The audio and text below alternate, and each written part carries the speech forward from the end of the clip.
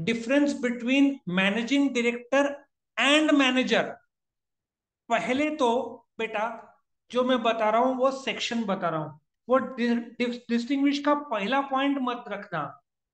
इसका two subsection 53 अब आप बोलोगे, आपको याद कैसे है? मैंने आपको एक टेक्निक बताता हूँ, आपके पाँच छह सेक्शन इधर के इधर लर्न हो जाएँगे। ये कौन सा एक्ट है? कंपनीज़ एक्ट 2013 इंडिया में हज़ारों एक्ट है। हर एक एक्ट का सेक्शन टू क्या बात करता है? डेफिनेशन ठीक है? तो दोनों डेफिनेशन टू में आ गए दिख रहा है? अच्छा मैं चाहता हूँ आप सोचो कि जब आप दस साल के थे तो आपने सोचा कि आप, आपने बोर्ड में लिखा कि आप डायरेक्टर बनना चाहते हो। बोर्ड ऑफ़ डायरेक्टर फिर जैसे ही आपकी उम्र चौबीस हुई टू सबसेक्शन ट्वेंटी फोर आप बन गए कंपनी सेक्रेटरी ठीक दस साल बाद आप बने director two subsection thirty four ठीक बीस साल बाद आप बने मैनेजिंग डायरेक्टर ठीक चालीस साल बाद आप बने होल टाइम डायरेक्टर लेकिन मैनेजिंग डायरेक्टर से पहले आपने एक साल पहले, आप एक साल का एक्सपीरियंस लिया मैनेजर का two subsection fifty three logic समझ में है तो ऐसे याद रहेगा आप अच्छा ये सेक्शन पॉइंट नंबर वन मत रखना। ये ब्रैकेट में लिखना, ओके? नाउ, शुरू करते हैं। शुरू करने से पहले मैं आपको रिलायंस में ले जाता हूँ। रिलायंस का लाइव बताता हूँ डायरेक्टर्स कितने डायरेक्टर है? एक, दो, तीन, चार, पाँच, छह, सात, आठ, नौ, दस, ग्यारह, बारह, तेरह, चौदह। ये चौदह के चौदह डायरेक्टर्स है, लेकिन Mukesh Ambani is the managing director है। मतलब मुकेश अंबानी के डबल रोल है। As director and as manager so managing director के डबल रोल क्या रहेगा? आप मैनेजर भी हो और आप डायरेक्टर भी हो, जबकि मैनेजर का एक ही रोल है। आया समझ में? और रिलायंस में जनरल मैनेजर नहीं हो सकता क्योंकि Mukesh Ambani already managing director है। So managing director is the representative of the board as far as day to day administration of the company is concern वापिस से लेके जाता हूँ।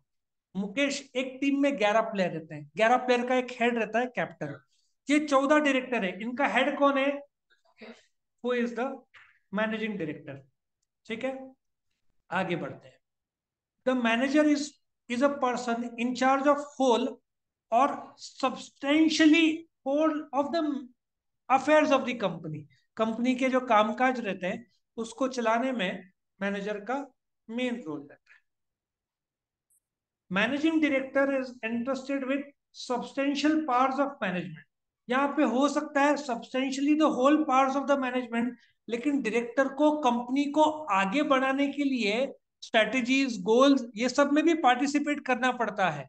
मैनेजर मैनेजमेंट में है। मैनेजिंग डायरेक्टर मैनेजमेंट के साथ कंपनी को चलाने के लिए स्ट्रेटेजीज गोल्स पॉलिसीज़ सब में लागू होता है। द मैनेजिंग डायरेक्टर पहले तो डायरेक्टर होना चाहिए। इफ़ यू चेकआउट वापिस से, मुकेश अंबानी तो पहले डायरेक्टर है, उसके बाद मैनेजिंग डायरेक्टर है। आप डायरेक्टली मैनेजिंग डायरेक्टर अपॉइंट नहीं करेंगे। आप पहले क्या करोगे? डायरेक्टर बनेंगे मुकेश अंबानी और फिर मैनेजिंग डायरेक्टर जबकि manager need not be a director of the company manager सिर्फ़ मैनेजर है डायरेक्टर नहीं है। मैनेजिंग डायरेक्टर डायरेक्टर भी है पहले और फिर मैनेजर भी है मतलब मैनेजिंग डायरेक्टर मैनेजिंग डायरेक्टर एक कंपनी में एक से ज़्यादा हो सकते हैं मैनेजिंग डायरेक्टर जैसे कि रिलायंस में Mukesh Ambani can be the managing director उनका लड़का जियो का मैनेजिंग डायरेक्टर हो सकता है। एक एग्जांपल ले रहा हूँ। और एक और रिटेल के मैनेजिंग डायरेक्टर हो सकते हैं। एक कंपनी में हो सकते हैं, एक से ज़्यादा मैनेजिंग डायरेक्टर पर एक कंपनी में एक से ज़्यादा नहीं हो सकते। अच्छा इसमें एक और चीज़ उन्होंने बोली नहीं मैं जोड़ दू। एक आदमी ज़्यादा से ज़्यादा कितने कंपनी में मैनेजिंग डायरेक्टरशिप कर सकता है? दो। अभी let us take a live exam इन्होंने पॉइंट नहीं दिया, मैं एक्स्ट्रा पॉइंट बता रहा हूँ, ठीक है? मुकेश अंबानी रिलायंस में मैनेजिंग डायरेक्टर है। He can be managing director in one more company यदि बाकी डायरेक्टर्स ने हाँ बोला तो। एक आदमी ज़्यादा से ज़्यादा कितने कंपनी में एमडी हो सकता है? दो। लेकिन मैनेजर सिर्फ़ एक कंपनी में। अपॉइंटमेंट मैनेजिंग डायरेक्टर का अपॉइंटमेंट कौन कर सकते हैं? बोर्ड ऑफ़ डायरेक्टर्स या तो शेयर होल्डर्स कर सकते हैं, या आर्टिकल ऑफ़ कंपनी के तहत तुम एग्रीमेंट कर सकते हो एमडी के साथ। मैनेजर नौकर एम्प्लॉय है। अब आपके सवाल आ रहा होगा, क्या मैनेजिंग डायरेक्टर भी एम्प्लॉय है? नो है है। मैनेजिंग डायरेक्टर सिंस मैनेजर है तो एम्प्लॉय है। डायरेक्टर एम्प्लॉय नहीं हो सकता। डायरेक्टर कौन है? Agent managing director is an employee, manager is also an employee तो डिस्टिंग्विश का पॉइंट नहीं बैठता। बट मैनेजर कॉन्ट्रेक्चुअल या इज़ एन बोलते ना employee of the company contract of service ठीक है? रेमोनरेशन एक मैनेजिंग डायरेक्टर रहेगा तो ज़्यादा से ज़्यादा पाँच टक्का। और सारे के सारे एमडीज रहे तो ज़्यादा से ज़्यादा कितना दे सकते हो? दस टक्का। और मैनेजर को कंपनी के नेट प्रॉफिट से पाँच टक्के से ज़्यादा नहीं मिल सकता। प्लस एज मैनेजिंग डायरेक्टर इनको सिटिंग फ़ीस मीटिंग में बैठने का एक लाख रुपए तक मिल सकता है। जनरल मैनेजर को कुछ नहीं मिलता सिटिंग फ़ीस ठीक है? और भी बोल सकते हो। एज मैनेजिंग डायरेक्टर यदि मुकेश अंबानी डायरेक्टर है तो मैक्सिमम कितने कंपनीज़ में डायरेक्टरशिप कर सकते हैं? तीस, जिसमें से दस पब्लिक लिमिटेड और एमडी कितने कंपनी में होगा? ज़्यादा से दो। मैनेजर एक ही कंपनी में जॉब करेगा, यदि फुल टाइम है लॉजिक समझ में आ रहा है?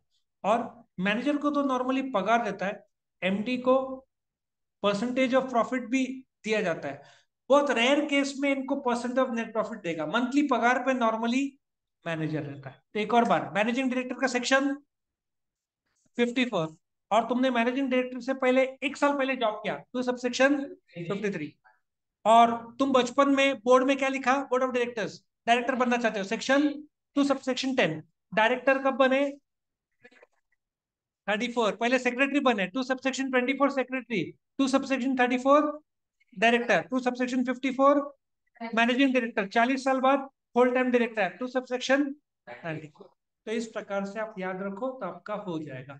तो ये डिस्टिंग्विश था मैनेजिंग डायरेक्टर और मैनेजर का तो हाँ हो जाता है क्वेश्चन खत्म। Thank you for watching